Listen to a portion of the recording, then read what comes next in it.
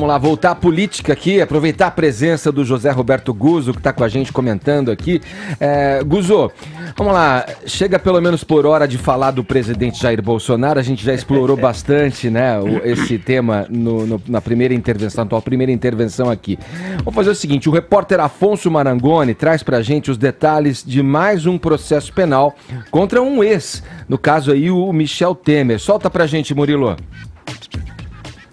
O ex-presidente Michel Temer se tornou réu na justiça pela sexta vez. No processo, ele é acusado de integrar uma organização criminosa juntamente com os ex-ministros Eliseu Padilha e Moreira Franco, que também se tornaram réus. O MDBista teria incentivado empresários da JIF a subornar o ex-presidente da Câmara dos Deputados, Eduardo Cunha, para que ele não fizesse acordo de delação premiada. Uma das provas que sustentam a acusação é o áudio gravado pelo empresário Joesley Batista no Palácio do Jaburu no dia 7 de março de 2017, quando Temer era presidente. Na ocasião, ele disse a frase: tem que manter isso, viu? Na fala, o Ministério Público entendeu que Temer sugeriu a manutenção de pagamentos de propina a Eduardo Cunha. Para o juiz Marcos Vinícius Reis Bastos, da Justiça Federal em Brasília, o processo se fez acompanhar de documentos que lhe conferem verossimilhança verossimilhança. A denúncia foi recebida por ele na última sexta-feira e a decisão foi divulgada nesta segunda. Em nota, a defesa de Michel Temer afirmou que ele nunca integrou uma organização criminosa nem obstruiu a justiça. Segundo o advogado, essa acusação será desmascarada a seu tempo. Já a defesa de Eliseu Padilha afirmou que o ex-ministro vai se posicionar apenas nos autos. O advogado de Moreira Franco disse estar convicto de que ele ele será excluído da ação penal ou absolvido. Tá aí, o Guzo, tem a, a frase, citar a frase do, do jornalista e escritor Ivan Less, que dizia que a cada 15 anos o brasileiro se esquece, né? Do, do, do, dos últimos 15 anos, né? Sim. Antes da gente se esquecer do Michel Temer, então, o que, que devemos saber é, e o que, que você poderia nos falar a respeito dele e sobre esse caso específico aí relatado na reportagem do Afonso Marangoni? Olha, uh, eu acho que se pode resumir isso de uma maneira bastante simples né? e, e eficiente. Né? Olha, uh, Edgar, eu não tenho a menor ideia do que, que se ele fez, o que ele não fez, se ele falou para. O que, que quer dizer que ele tem de manter isso, não. O jeito, sei que, o jeito que acusava ele, que era aquele procurador, é um criminoso, a meu ver, que não sei porquê, não responde processo por acusação falsa. Então, em relação a esse caso específico, eu não sei. Agora, o Michel tem, tem mais de 10 processos, alguma coisa assim, entende, né? E quem vai decidir se ele é culpado não é você, nem eu, nem a Paulinha, nem o Caio, ninguém. Quem vai decidir isso é a justiça. Então, ele tem aí o resto da vida para discutir isso.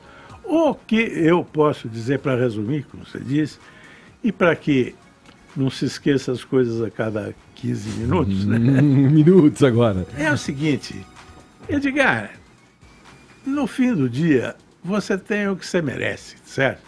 Você colhe o que você plantou, bonitão. Aí é o seguinte, o Michel Temer, ele está há 40 anos numa vida de crime.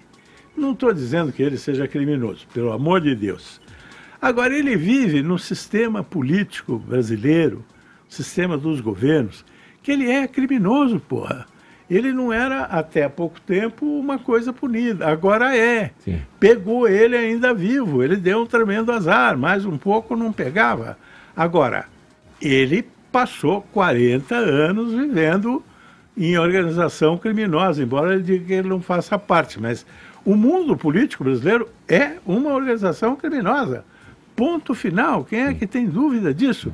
É a mesma coisa que o Marcola, que o Fernandinho Beramar, só que ali é crime violento, com morte, com tiro e tal, e esse é de roubar a gente e o povo todo, né? Você vê uma solução para isso, Guzo? tem algum jeito de, de resolver essa situação? é, desse sistema corrupto da nossa política. Você pega aí o Temer, né, com várias acusações, já chegou a ser preso, tem o Lula que está preso, é, Dilma Rousseff que saiu empichada, Collor também. Quer dizer, o passado recente aí, porque é, é recente, né? Pós-redemocratização, claro. nós temos todos os políticos, e aí a gente passa depois para ministros, para deputados, todos enrolados nesse, nessa grande, ah. nesse grande elo aí de corrupção. Como Olha, que, que a gente que... passa por isso? Eu acho que se fez um avanço, um avanço importante. Se você me perguntar como é que resolve isso, pô, eu sei lá como é que resolve. A maioria das coisas da vida eu não sei como é que é, certo, né? Eu não sei fazer um monte de coisa, não sei pilotar avião, não sei... 200 mil, a maioria das coisas não sei fazer. Isso eu também não sei como é que resolve o problema de corrupção no Brasil. O que eu acho que a gente pode dizer concretamente é que a partir da Operação Lava Jato, a partir, da, aliás, da aparição específica do Sérgio Moro e de uma situação específica da Justiça Federal do Paraná, a partir desse momento, quer dizer, uma coisa que também já vinha um pouco antes já do mensalão, passou a ser feita uma coisa que não, não houve em 500 anos de história do Brasil, que é a responsabilidade do cara que praticou alguma coisa. O Fefito estava aí comentando Pô, o rolo que tem um sujeito que perdeu a mulher no meio de uma tempestade. E esse cara está com problema de justiça. Uhum. Nenhum político tinha problema nenhum, porque eles eram considerados fora da lei. Quer dizer, você se foi pego numa tempestade lá com a sua mulher, com seus amigos, não sei o quê, o barco afunda, Fefito, vamos pegar e você. Ah, precisa punir esse cara tal. Agora, se você é o político, não acontecia nada. Passou a acontecer. Tem um presidente da República preso. O cara já puxou mais de um ano de cana. Tem o Eduardo Cunha preso. Tem o Cabral preso. Tudo peixe grande, né? Tem o Palote, que está em prisão domiciliar, mas está preso.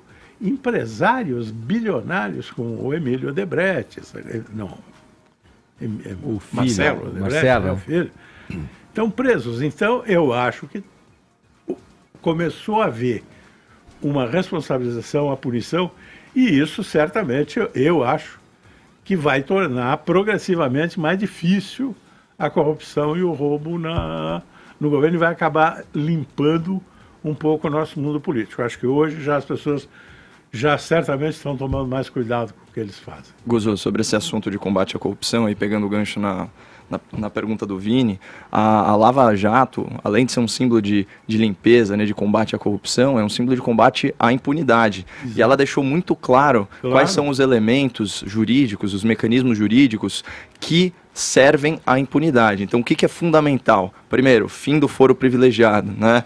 É, manutenção da legislação em relação à delação premiada, prisão preventiva, essas mais alongadas aí, sem, sem prazo, e inclusive prisão após julgamento de segunda instância. Isso daí é fundamental para o sucesso do Lava Jato. Perfeito. E, finalmente, mudar as regras de progressão de regime, que fazem ah. com que esses caras que pegam aí penas gigantescas é, saiam muito cedo aí do, do cárcere é, a pretexto de bom comportamento, né? Pessoas que delinquiram a vida inteira e roubaram o, o povo brasileiro. Agora, falando sobre a notícia do Temer, Edgar, eu queria acrescentar um negócio.